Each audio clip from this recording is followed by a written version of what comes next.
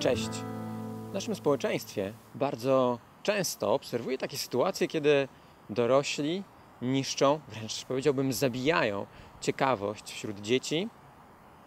Nie, nie pytaj mnie o to. No, poszukaj sobie jakiegoś innego zajęcia. A z drugiej strony chcą, żeby dzieci były bardzo poważne, żeby przestały się bawić.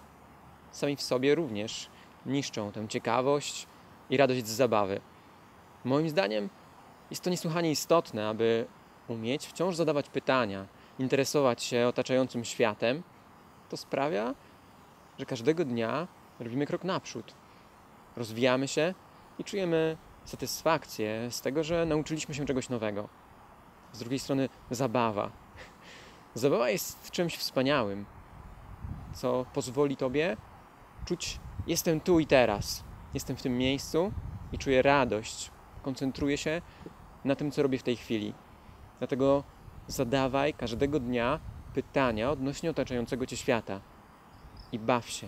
Znajdź czas na to, aby pobawić się w berka, chowanego, czy po prostu pokręcić na karuzeli. Udanej zabawy.